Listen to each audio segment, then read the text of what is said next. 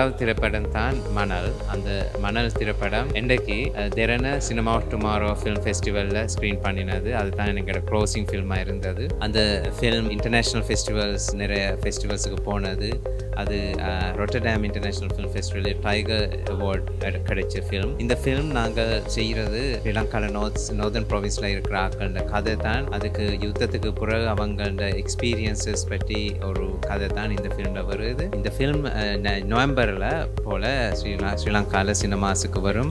அப்போ வந்தால் கண்டிப்பாக போய் பாருங்கள் நான் பரத். மணல் திரைப்படத்தோட ப்ரொடக்ஷன் மேனேஜர் அதோட அசோசியேட் ப்ரொடியூசர் வடக்கு கிழக்கில் இவ்வளோ காலம் இருந்த நிறைய இளைஞர்கள் வந்து சினிமாவில் வந்து ஒர்க் பண்ணாலும் எங்களோட படங்கள் எங்களோட திறன்கள் வந்து வெளியில் காட்டுறதுக்கும் உலக அளவில் பேசப்படுறதுக்கும் ஒரு சரியான இதை வந்து நாங்கள் கனகாலமாக முயற்சி செய்து நாங்கள் அதுக்கான ஒரு விதையக்கு விதைக்கு விதையிட்டு அதுக்கு ஒரு முழு முழு வடிவம் வந்து டைரக்டர் விசகேசி சந்திரசேகரம் வந்து இந்த படத்தின் மூலமாக எங்களுக்கு வழங்கி இருக்கிறார் அதில் அவர்கள் முதலுக்கு நன்றியை சொல்லிக்கொண்டு ஸ்ரீலங்கன் பிரீமியர் வந்து தெரனலாக்ஸ் ஃபில்ம் அவார்ட்ஸில் வந்து வாரது வந்து உண்மையாக எங்களுக்கு சந்தோஷமாக இருக்குது சர்வதேச அளவில் எங்கள் எங்களோட படம் படத்துக்கு ஒரு அங்கீகாரம் கிடைச்சாலும் எங்களோட சொந்த நாட்டிலேயே இப்படி ஒரு அங்கீகாரம் எங்களோட படத்துக்கு கிடைக்கிறது நிறைய மகிழ்ச்சி அடைகிறோம். இந்த படத்தின் இந்த ஸ்க்ரீனிங் மூலமாக எங்களோட படத்தில் வந்து இதுவரை காலம் வேலை செஞ்ச எல்லா அனைவருக்காக நன்றியை தெரிவித்துக் கொள்கிறேன் ஹாய் நான் வந்து சிவகுமார் லிங்கேஸ்வரன் மணல் படத்தில் ஆக்ட் பண்ணியிருக்கேன். இந்த படம் வந்து அஹ், தரண ஃபிலிம் ஃபெஸ்டிவலில் வந்து ஓடிட்டு இருக்கு. சிக்ஸ் தேர்ட்டி இப்போ ஸ்டார்ட் பண்ணுறாங்க ஸோ நீங்கள் எல்லாரும் வந்து கண்டிப்பாக இந்த படத்தை பாருங்கள் நான் சிவானந்தம் பத்மஜன்.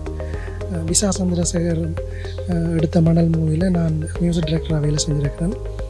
இந்த படம் உண்மையிலேயே நிறைய எக்ஸ்பீரியன்ஸாக தந்திருக்கு. நிறைய விஷயங்களை எங்கள்கிட்ட ஏற்கனவே நடந்த எமோஷன்ஸை வெளிக்கொடு வெளிப்படுத்தக்கூடிய மாதிரி இருந்தது. இப்போ எங்களோட நாட்டில் தெரன லக்ஸ் ஃபிலிம் ஃபெஸ்டிவலில் ப்ளே ஆகி கொண்டிருக்குது ஸோ இது வேலைக்கு பப்ளிக்காக ப்ரீமியர் ஆக போகுது. எல்லோரும் பாருங்கள் சப்போர்ட் பண்ணுங்க மணல் திரைப்படம் என்ற திரையிடப்பட்டிருந்தது. திறன ஃபிலிம் ஃபெஸ்டிவலில் இந்த படம் மிக சிறப்பான முறையில் வந்திருக்கின்றது. குறிப்பாக இலங்கையில் இடம்பெற்ற இந்த யுத்தங்களின் மூலமாக அதன் மூலமாக ஏற்பட்ட வடுக்கள் அதன் மூலமாக மக்கள் எதிர்கொள்கின்ற பிரச்சனைகள் சம்பந்தப்பட்டிருந்தாலும் கூட ஒரு உணர்வுபூர்வமான அம்மா ஒரு மகனுக்கு இடையிலான கதைகள். ஒரு மகனை காப்பாற்றி அவருக்காக போராடி கொண்டிருக்கின்ற ஒரு அம்மா அதற்குள் மலர்கின்ற காதல் இவற்றை சுற்றி இந்த வாழ்வியல்கள். குறிப்பாக தமிழ் கிராமிய வாழ்வியல்கள் எவ்வாறு அமைந்திருக்கின்றன என்பது பற்றிய விடங்களை விடயங்களும் இந்த திரைப்படத்தில் ஏராளமாக காண்பிக்கப்பட்டிருக்கின்றன. திரைப்படம் நகர்ந்து கொண்டிருக்கின்ற விதம் மிக சிறப்பான முறையில் அமைந்திருக்கின்றது. இந்த மணல் திரைப்படம் நிறைய விருதுகளை வென்று வென்றிருக்கின்றது.